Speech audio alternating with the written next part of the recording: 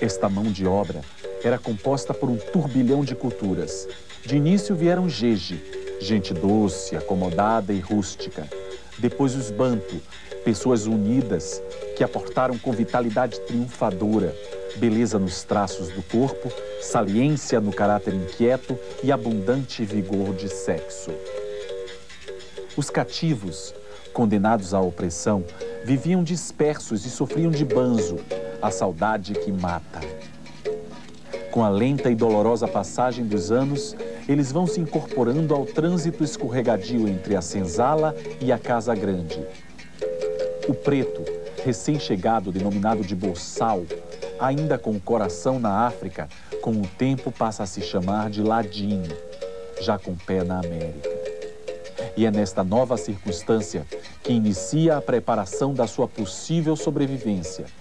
Isto se dá pelos processos de adaptação, integração e da reorganização no mundo novo, terra de branco, como designava o nativo.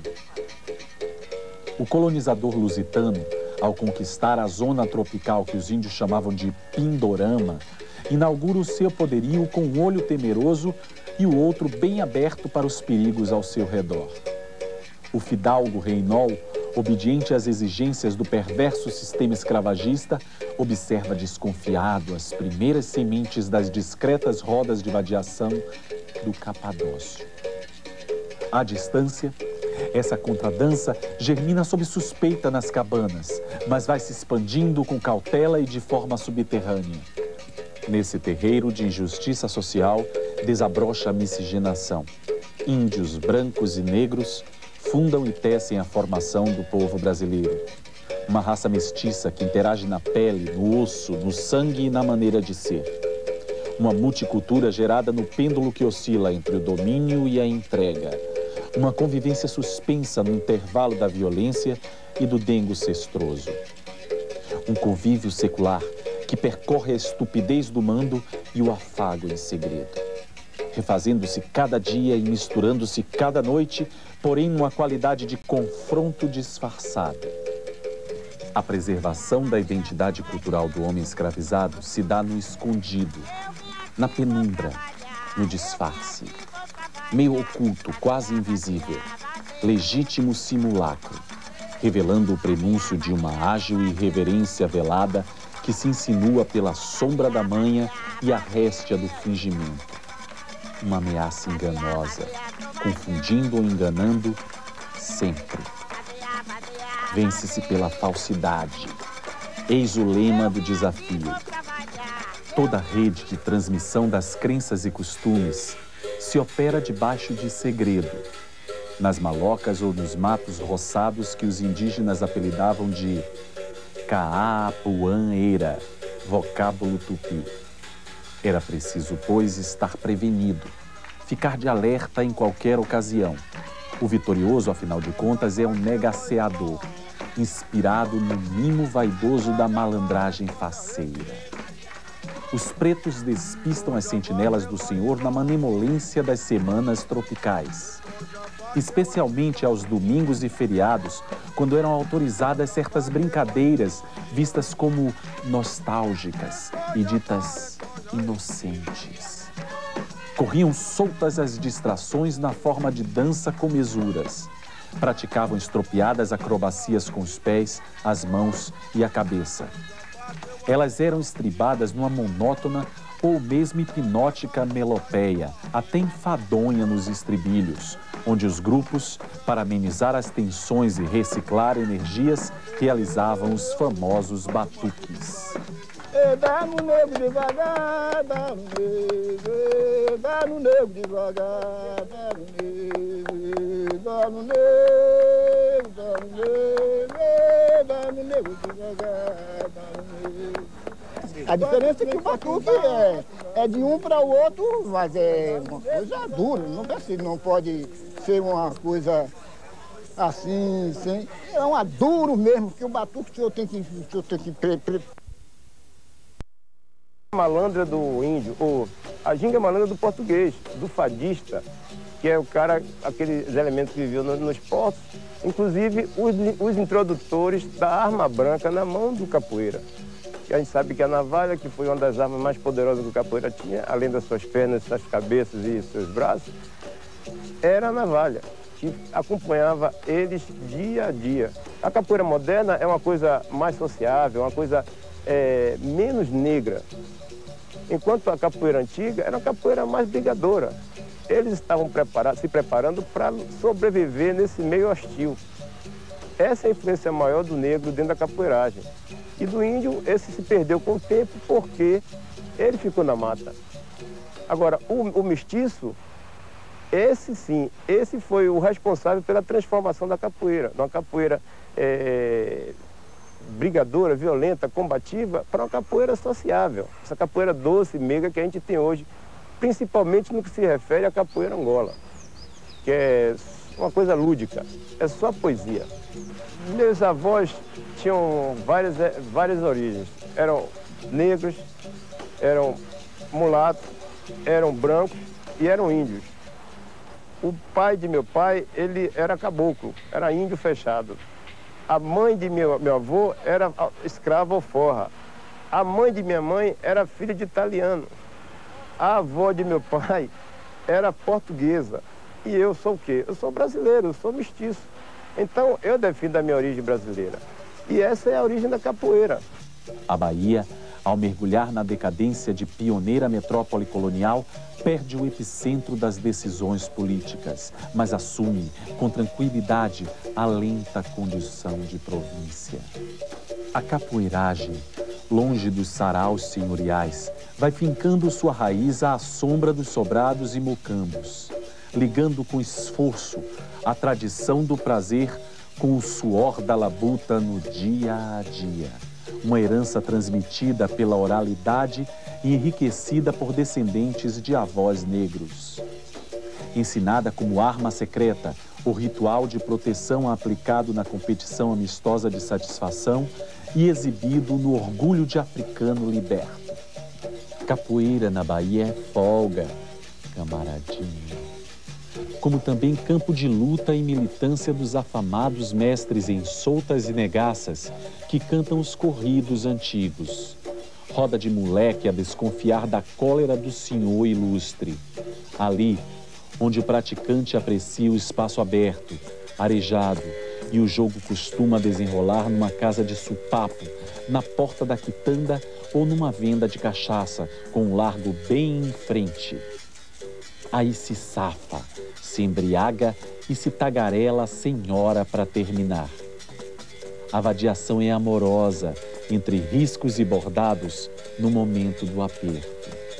Basta calma, saber entrar e sair do barulho, apreciar os grandes lances para alegrar, ter golpe de vista apurado, brigar sem se gabar, eis a sabedoria. Com Xangô, Jesus, Maria José lhe valendo na hora da aflição, com as rezas fortes em dia, o tal Bamba possui o mistério desta baderna. Nos morros, malocas, botequins, nas turmas de bairros ou nas arruaças de barra pesada, o capoeira está sempre pronto para aplicar sua manobra, com destreza, nos trancos e no barranco. Seu alicerce é traiçoeiro, porque se tornou aprendiz das perversidades, das adversidades mostra o seu valor sem temer a relia de quem quer que seja. E vence qualquer parada, seja com a U, rasteira, tesoura, joelhada, meia-lua, bênção, boca de calça, armada, martelo, rolê, rabo de arraia ou mesmo na cabeçada. Cafajeste dorme com as pestanas despertas, na espreita.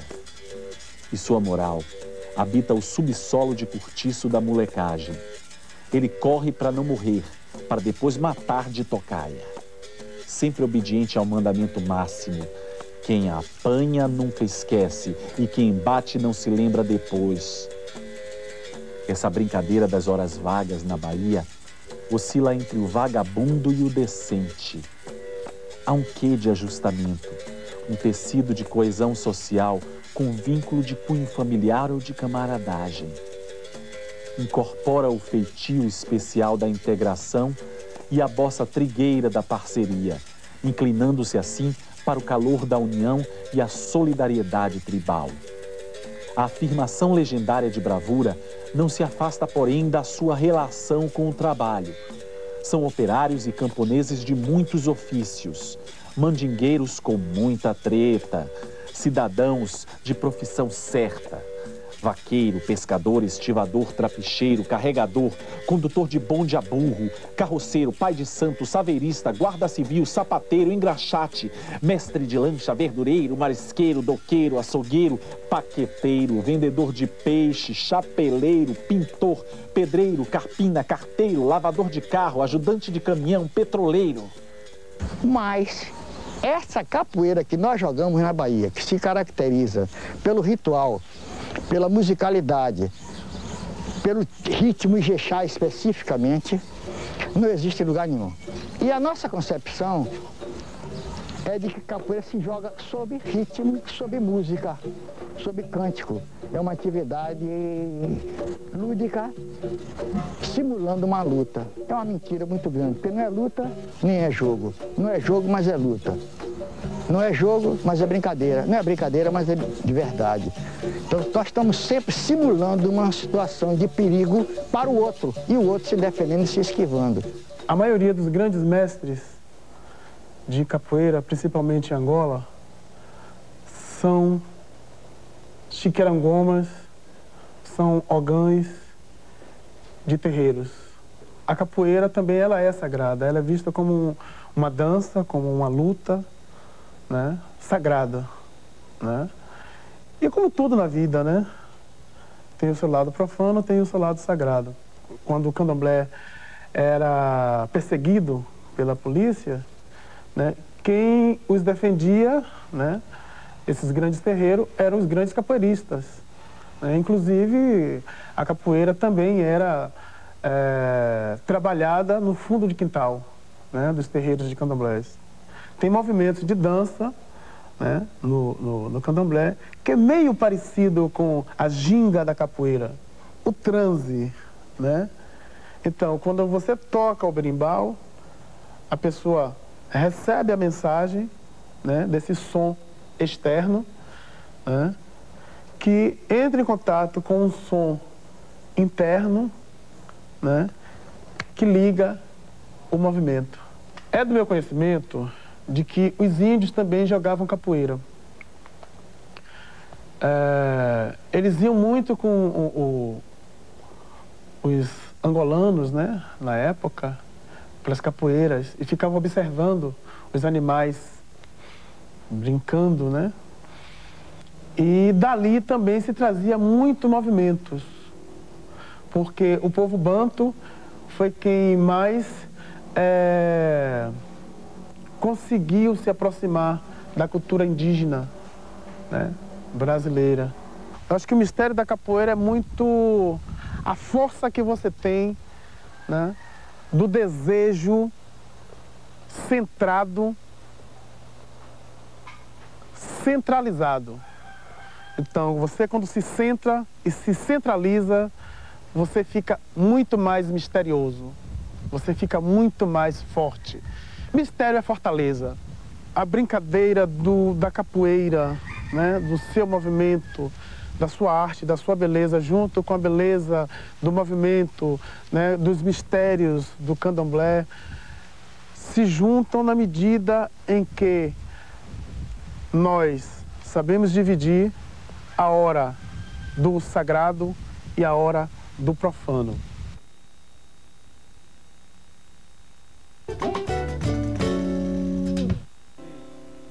Brasil, ao Sesc Interlagos, ao vivo, e você pode usufruir desse ambiente conosco, das 11 h e meia. Falou? Corta, oi, oi, oi.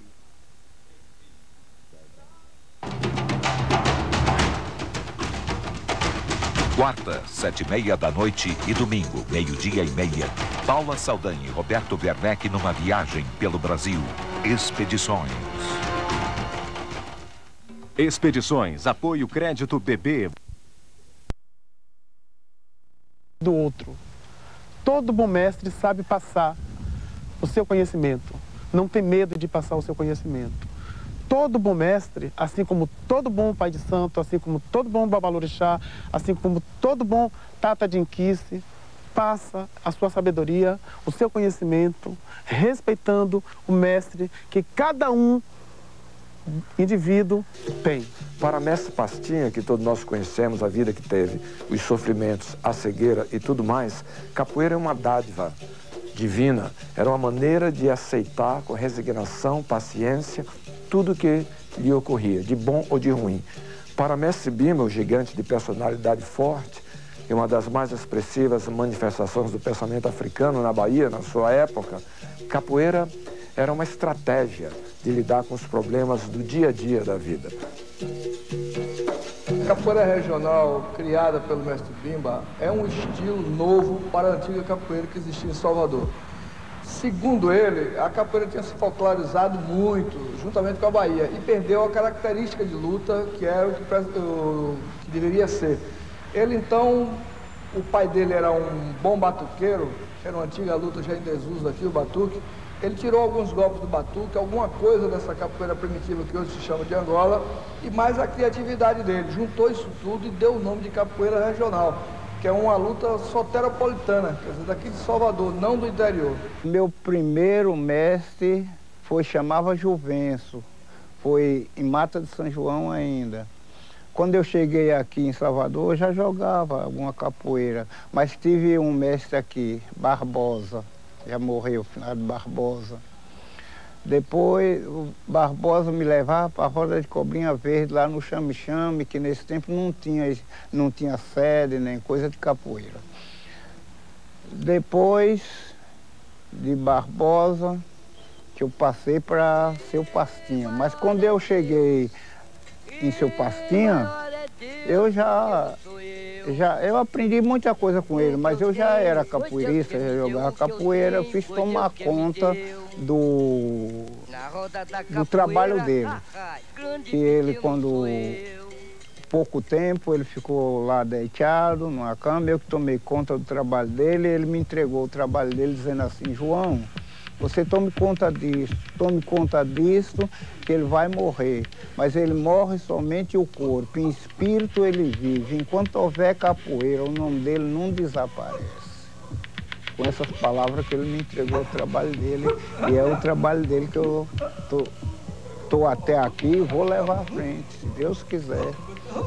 Porque eu não quero morrer, eu já estou confirmado de vida eterna, e lá no paraíso eu quero estar lá brincando minha capoeira também. A primeira coisa que minha pastinha me ensinou era o jogo de braço. Era a primeira coisa. E aí comecei a treinar, depois caía para um lado, caía para o outro. Ele dizia, olha, se você não tiver boa ginga, você não é um bom capoeirista. Você olha dentro do olho. E realmente ele começou a me ensinar. E depois de um certo, uns dois ou três meses, eu aí desci lá pro Pelourinho, para o Centro Esportivo de Capoeira Angola, o SECA. E comecei a treinar, como ele ensinava. Ele primeiro era ginga, primeiro era ginga. Um jogo de braço, você metia o braço, tirava, você entendeu? Porque ele dizia, olha, a capoeira Angola, ela é mais defesa do que ataque. Ele dizia, capoeira Angola não aprende quem não quer. Foi feita para homem, menino, velho e até mulher. Eu não sou folha de flange, eu não sou prato esmaltado. Eu não jogo com você porque você é um desclassificado. E assim era Mestre Pastinha, um homem simples, amigo do povo, não largava um guarda-chuva. Podia estar chovendo, fazendo sol, estava Mestre Pastinha com seu guarda-chuva.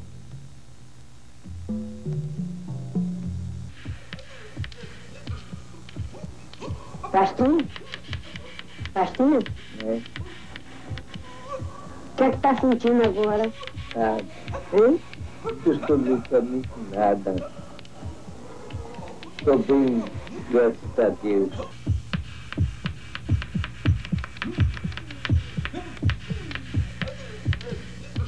Vamos ouvir agora o hino da capoeira regional da Bahia, tocado pelo mestre Bima.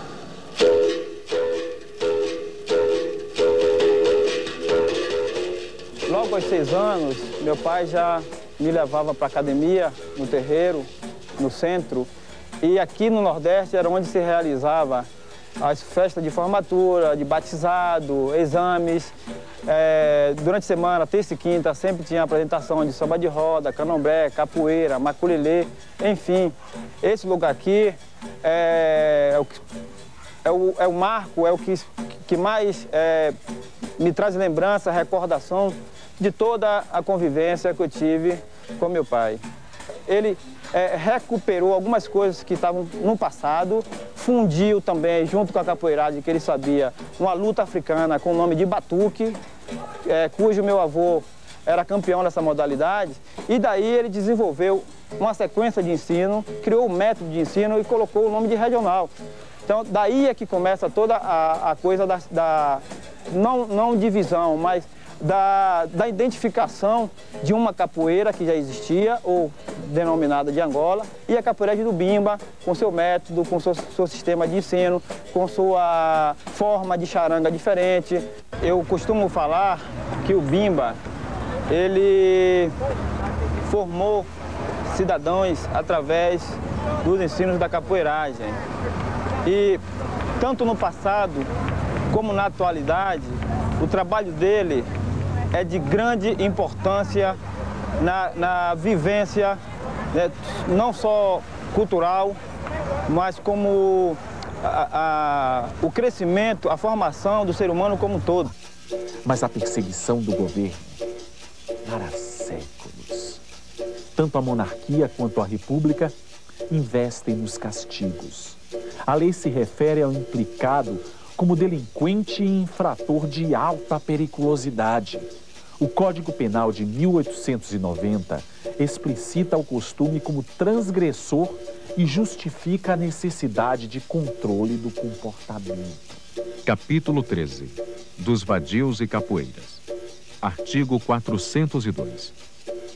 Fazer nas ruas e praças públicas exercício de agilidade e destreza corporal, conhecidos pela denominação capoeiragem andar em correrias com armas ou instrumentos capazes de produzir uma lesão corporal, provocando tumultos ou desordens, ameaçando pessoa certa ou incerta, ou incutindo temor de algum mal. Pena: de prisão celular por dois a seis meses. A hegemonia repressora assombra e figura na lembrança do folclore baiano a presença impiedosa do então delegado Pedrito, com o seu temido destacamento Esquadrão de Cavalaria. Isso na segunda década do século XX. A ordem expressa para a polícia era de suprimir ou arquivar no esquecimento a capoeira e o candomblé. A desobediência implicava amargar no chilindró das casas de correção. Apesar do terror, a vadiação insiste pelas ladeiras e pelos becos, em cada freguesia, por todas as praias e alguns sítios afastados. Eles atacam no cais do porto, agitam a invasão do corta-braço da Vila Nova Perovais, sobressalta o terreiro, a Sé, Baixa dos Sapateiros, Coqueiros de Água de Meninos, Itapajipe, Santo Antônio Além do Carmo, Rio Vermelho e Itapuã. Alarmam as ruas do Passo Tabuão e dos Capitães, resistem na estrada da liberdade. Mas seu ninho de cobra mesmo era na zona do Mangue Cais Dourado, passarela do álcool de marinheiros e soldados da polícia. Cultiva-se na memória popular a continuidade de mestres virtuosos com notável missão heróica.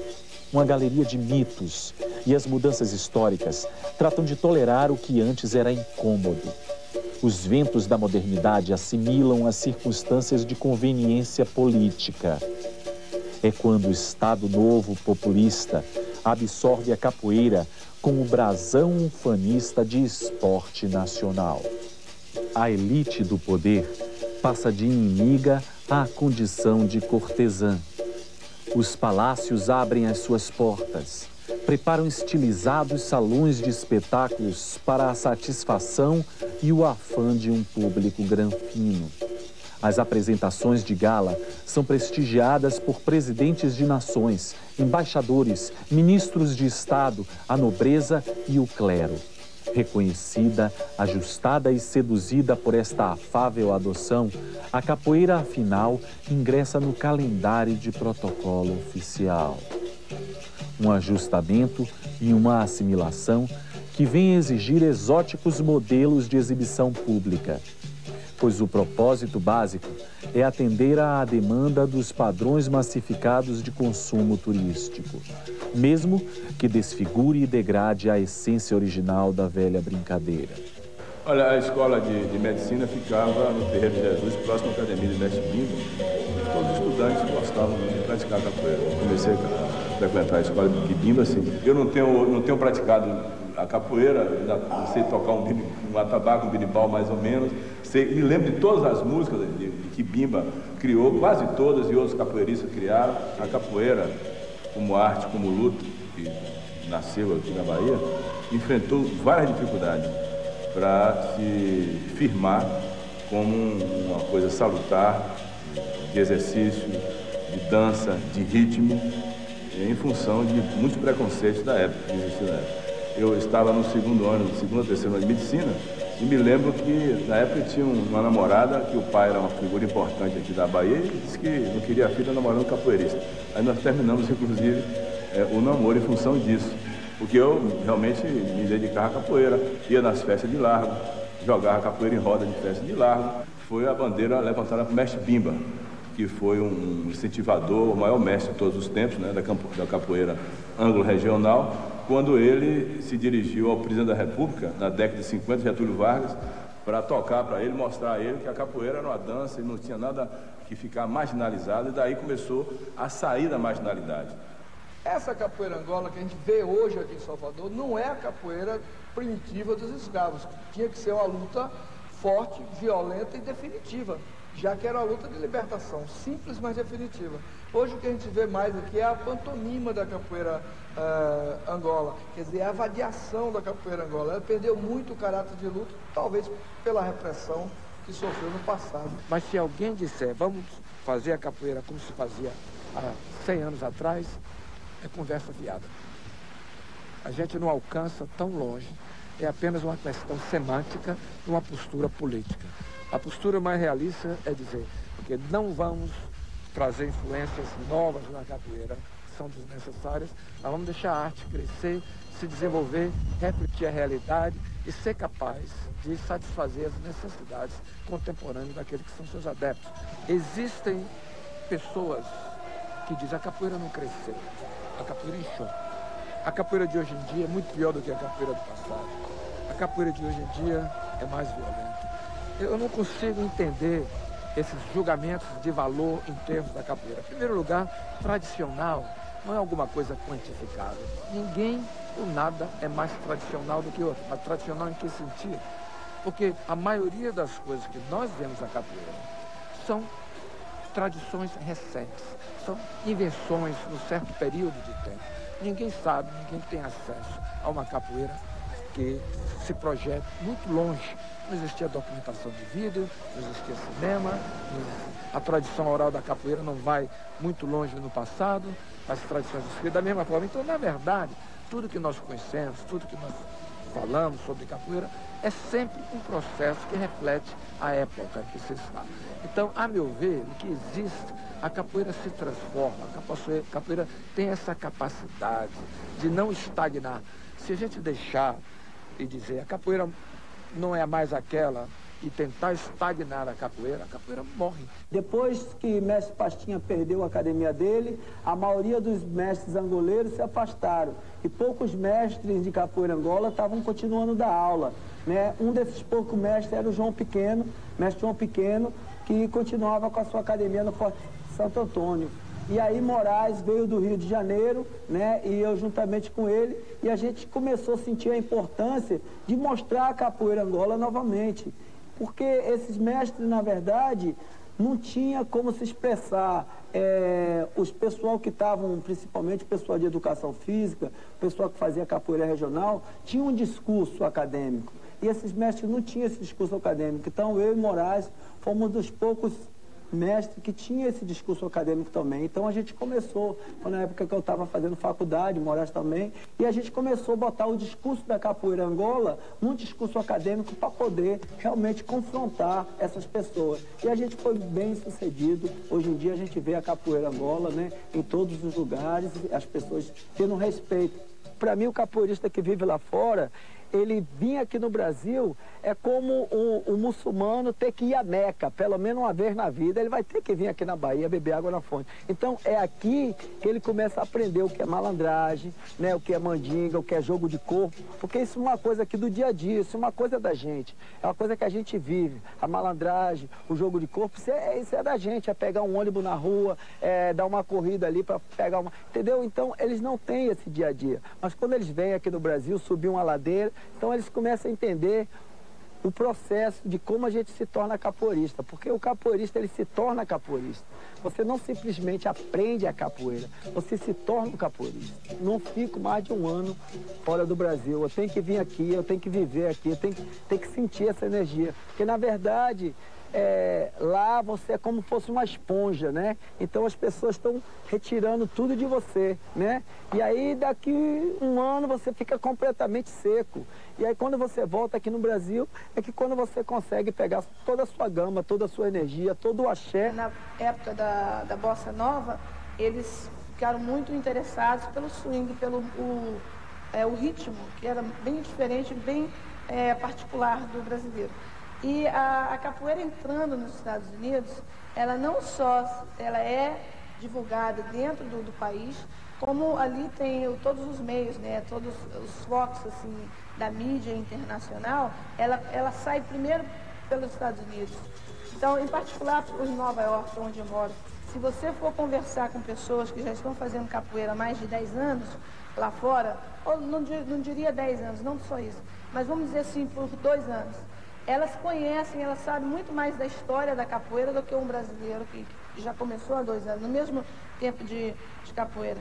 Ela já sabe, ela sabe da história do Brasil, ela sabe da geografia. Então, são povos assim que, que eles são interessados ah, não só na, na, no que condiz a ele na, no imediato, que seria uma aula de capoeira, mas ele quer saber de onde que essa, que essa arte veio. Então, eu acho que se o brasileiro não começar a estudar, a se preocupar nesse aspecto, é, ela não vai ser destruída lá fora. Ela pode ser destruída aqui dentro. Temos a, a capoeira em quase todos os continentes. Temos na, na, América do Sul, na América do Norte, na, na, na Ásia, na Europa, na, África. Agora levamos a capoeira de volta para a África. A capoeira ela trai é, diferente, é, os, os povos diferentes assim, de todo mundo pela espontaneidade da capoeira pela plasticidade dos movimentos, pela, pela criatividade que o capoeirista traz nas rodas de capoeira. É, você vendo um jogo de capoeira, parece que a coisa é coreografada. A partir do momento que eles entendem que aquilo não é coreografado, então já se vem a, a, a surpresa e o desafio de como fazer isso, como aprender isso. Essa euforia, através da linguagem das artes plásticas fez com que tivéssemos a necessidade de incorporar a linguagem que era internacional, sei lá, universal das artes visuais, nós adaptássemos ela ao local, à cidade. Era o toque da nossa infância, da nossa puberdade, da nossa, dos nossos folguedos, da nossa boemia. É isso aí. E começamos então lentamente a frequentar alguns artistas escolheram se aproximar dessas fontes populares de, de origem afro-baiana, especialmente. Eu utilizo os, os elementos da minha volta, da, do meu meio, da minha cidade, como um componente temático. Como eu posso não usá-lo também para exercitar o domínio da própria forma? É isso aí. Então esse excesso de folclore é tão pernicioso como a ausência total dele, ao meu modo de ver. Estou dando agora a mensagem a você, meu filho. É isso aí. O excesso de folclorismo dá numa manifestação dependente, em que, na qual a criatividade, a invenção fica marginalizada. É isso aí. É preciso, seja arte erudita ou arte popular, como assim são chamadas, serve ao artista de hoje, ou de sempre, talvez, quem sabe, como um elemento de apoio, mas não inibidor como uma forma de freio, mas como um estímulo para se recriar. Nós somos o que a cidade nos oferece em N níveis, do mais simples ao mais complexo. A arte popular é uma expressão mais eh, contida, mais sintética. Tem um poder colossal, mas é frágil. Ela se adapta e modifica-se. A arte erudita ela tem uma estrutura muito mais rígida de um lado, porque há um conceito em cima dela e é um domínio de técnica avançada. A diferença é só essa. Embora a arte erudita se inspira, historicamente, os músicos, Beethoven, Brahms, Mozart, todos eles se inspiraram em canções populares. Não tem nada de novo, não há conflito entre uma coisa e outra. Ao contrário, o que há é uma imensa fonte de influência mútua. Dançar como quem luta, lutar como quem dança. E no intervalo desse movimento muscular, dessas oposições marciais, escapa o prazer de expor a harmonia das gesticulações através do ritmo cadenciado sendo o corpo a dimensão do tempo a trafegar no espaço. Um tempo que se expande e um espaço que se contrai. Um jogo de pernas, de braços, sobretudo de circunvoluções premeditadas e improvisadas. Este balé da memória muscular, constituído de sistema simbólico e código genético, uma genuína expressão corporal incorporada à arquitetura da linguagem, ritualizada no chão pelos homens sob o reflexo da dança das estrelas que iluminam o universo abraço.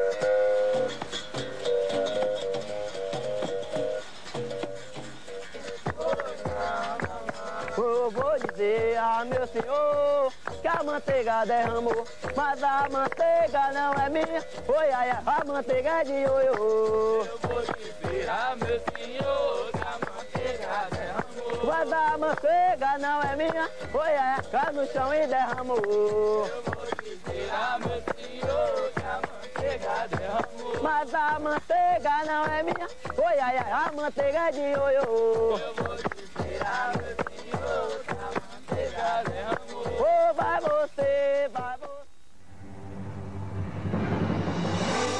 TV Cultura, pelo segundo ano consecutivo, Prêmio M Internacional pela qualidade de sua programação.